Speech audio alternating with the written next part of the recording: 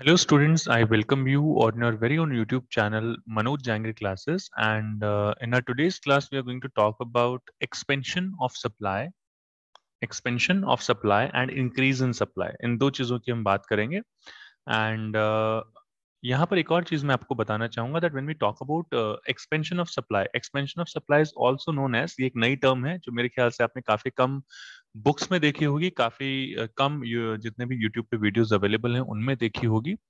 Expansion of supply is also known as increase in quantity supplied so इसको note कर लीजिए note down कर लीजिए नोटबुक में कहीं पे because this is a very important thing which you all need to understand So as I said in my previous video that when we talk about expansion of supply, then it happens because of price of the commodity. बाकी आप देख सकते हैं कि expansion और increase आप चाहे letters count कर लीजिए जो बोलने में बड़ा देखने में बड़ा लिखने में बड़ा that is expansion it happens because of price of the commodity price में जब चेंज आता है तो उसकी वजह से होगा। अभी हम एक्सपेंशन की बात कर रहे हैं तो let let let us be very very much specific here ये प्राइस के इंक्रीज होने की वजह से होता है। Uh, जबकि अगर हम इंक्रीज इन सप्लाई की बात करें तो इंक्रीज इन सप्लाई जो है ये अदर फैक्टर्स की वजह से होता है। अदर फैक्टर्स की वजह से यहाँ पर ये होता है। एंड यहाँ पर प्राइस का कोई लेना देना नहीं होता है। तो अगर अदर फैक्टर्स की बात करें तो यहाँ पर फेवरेबल चेंज आता है इनमें। ये फेवरेबल चेंजेस की वजह से होती हैं। Increase in supply favourable change की वजह से होता है। तो यहाँ पर मैं लिख देता हूँ अदर फैक्टर्स क्योंकि ये जो चेंज आता है, ये अदर फैक्टर्स की वजह से होता है। और यहाँ पर जो होता है, ये प्राइस राइज की वजह से होता है। प्राइस राइज करता है, उसके बाद ऐसा होता है। Before starting the differentiation between these two terms it is very important for all of you to tell you that यहाँ पर हम दो टर्म्स यूज़ करेंगे। एक हम यूज़ करेंगे राइज और एक टर्म हम यहाँ पर यूज़ करेंगे fall as you can see यहाँ पर इंक्रीज इंक्रीज अगर हम यूज़ करेंगे तो increase in supply is already a word तो इंक्रीज या डिक्रीज को अवॉइड करके हम यहाँ पर इंक्राइज या फॉल ये दो टर्म्स यहाँ पर यूज़ करने वाले हैं तो आई आई सजेस्ट यू कि आप लोग भी यही टर्म्स यूज़ करें सो दैट एग्ज़ाम में अच्छे मार्क्स आपके आ पाए और तरीके से इस चीज़ को एक्सप्लेन कर पाए। So let's talk about the very first point that is meaning meaning के बेसिस पे uh, हम लोग इसे डिफाइन डिफ्रेंशिएट uh, कर रहे हैं। एंड मैं आपसे यही कहूँगा कि जब आप आप भी एग्ज़ाम में जब बनाएँ तो पहला कॉलम आप बेसिस का बनाएँ दूसरा जो भी आपका फ़र्स्ट हेड है और सेकंड हेडिंग तीसरा कॉलम तो इस तरीके से तीन कॉलम बना के आप प्रेजेंटेशन करें। It's a it's considered to be a good kind of presentation over here meaning की अगर हम लोग बात करें then increase in quantity supplied increase in quantity supplied का मतलब क्या होता है कि भाई क्वांटिटी सप्लाइड जो है वो इंक्रीज हो गई है। कैसे इंक्रीज हुई? प्राइस के इंक्रीज होने पर।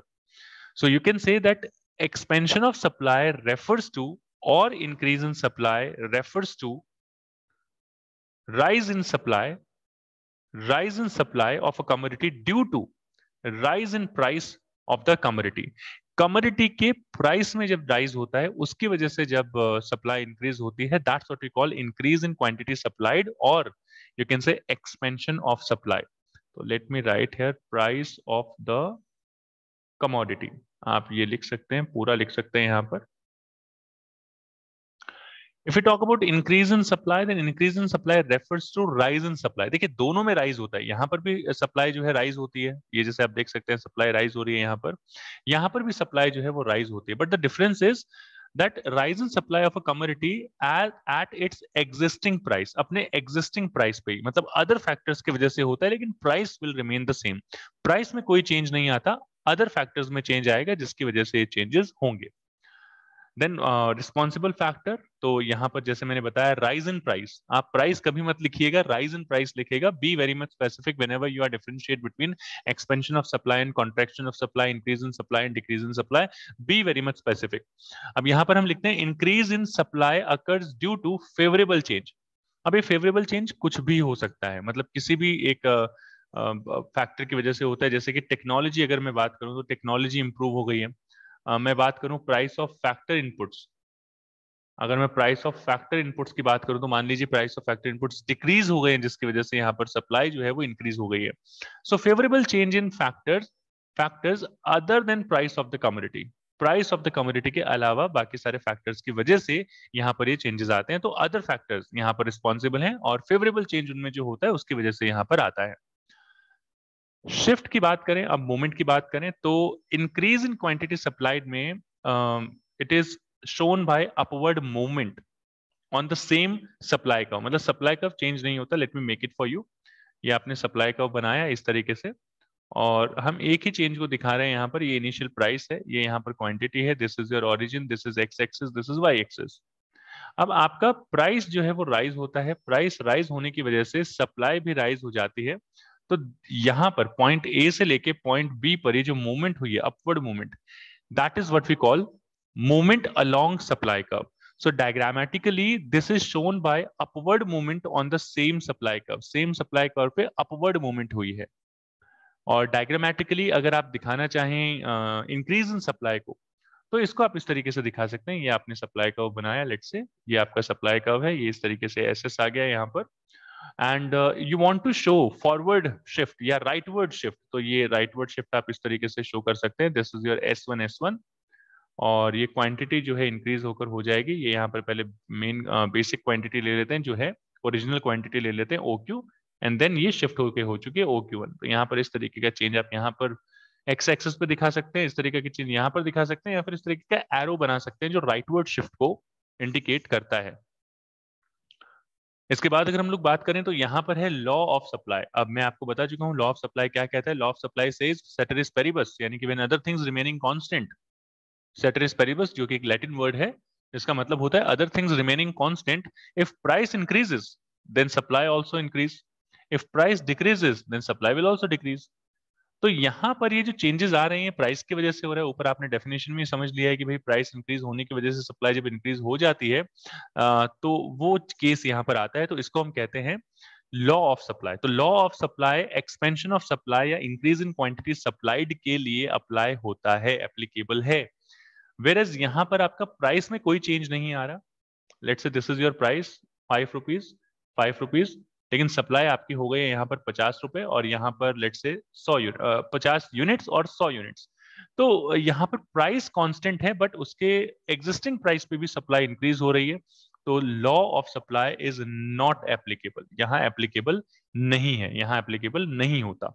In case of increase in supply तो इंक्रीज इन क्वांटिटी सप्लाइड और इंक्रीज इन सप्लाई दोनों अलग चीज़ें होती हैं। दोनों को सेम कंसिडर मत कीजिएगा। स्टार्टिंग में ही मैंने आपको बता दिया था। यहाँ पर बात करते हैं कांस्टेंट फैक्टर कौन से फैक्टर्स हैं जो यहाँ पर कांस्टेंट रहते हैं? तो जब हम एक्सपेंशन ऑफ़ सप्लाई की बात करते हैं या फिर इंक्रीज इन क्वांटिटी सप्लाइड की बात करते हैं other factors except price of the community यहाँ पर कांस्टेंट रहते हैं. Whereas if you talk about increase in supply तो यहाँ पर प्राइस ऑफ़ द कम्युनिटी जो है वो कांस्टेंट रहता है. आप चाहें तो यहाँ पर ये आ, मैं टेबल बना देता हूँ एक यहाँ पर कि ये प्राइस है प्राइस मान लीजिए टेन है और प्राइस टेन से फिफ्टीन हो गया. क्वांटिटी सौ से दो सौ हो गई. तो यहाँ पर आप एक ये टेबल का पॉइंट भी ऐड कर सकते हैं और उसके साथ साथ ये डायग्राम का पॉइंट भी आप ऐड कर सकते हैं। तो one, two, three, four, five points already आपके यहाँ पर हैं। सिक्स पॉइंट आप टेबल का और सेवन पॉइंट आप डायग्राम का भी यहाँ पर ऐड कर सकते हैं। So this is it in your today's video about expansion of supply and increase in supply और you can say increase in quantity supplied and increase in supply बाकी अगर आपको वीडियो अच्छा लगा, इसको लाइक ज़रूर करें, दोस्तों के साथ शेयर करें और चैनल को कर दीजिए सब्सक्राइब अगर अभी तक सब्सक्राइब नहीं किया है। बाकी डिस्क्रिप्शन में आपको इससे रिलेटेड और भी माइक्रो और स्टैट से या फिर प्रोजेक्ट से रिलेटेड जो इलेवंथ का प्रोजेक्ट है, उससे रिलेटेड भी वीडियोज़ आपको मिल जाएँगे। इंपॉर्टेंट क्वेश्चन के ऊपर भी वीडियोज़ अवेलेबल है। तो ये सारी चीज़ें यहाँ पर अवेलेबल है। आप चाहें तो हमें कार्ड सेक्शन पे यहाँ पर आपको लिंक मिल जाएँगे। आप वहाँ से हमें फॉलो कर सकते हैं। इसके सॉरी, वहाँ पर आपको लिंक्स मिल जाएँगे वीडियोस के तो आप और भी वीडियोस देख सकते हैं। बाकी आप हमें चाहें व्हाट्सएप टेलीग्राम फेसबुक इंस्टाग्राम कहीं पर भी फॉलो करना चाहते हैं, इन सबके लिंक्स गिवन है नीचे डिस्क्रिप्शन में। This is it for your today's video thank you so much subscribe ज़रूर कर लीजिएगा। अच्छा लगता है हमें। नंबर ऑफ़ सब्सक्राइबर जब एक अच्छी स्ट्रेंथ हो जाती है तो अच्छा लगता है कि हाँ वीडियोस लाइक करते हैं आप, मेहनत अच्छी लगती है आपको हमारी। और बिलीव मी काफ़ी मेहनत लगती है इस तरीके के वीडियोस को बनाने में। तो आपका एक एक जो अगर आप सब्सक्राइब करते हैं हमारे चैनल को तो it's a great source of motivation for us बाकी अगर आपको कोई डाउट है do write in the comment section I do write I do read all the comments and I do reply as soon as possible. So this is it for your today's video. Thank you so much and see you in your next class, all of you.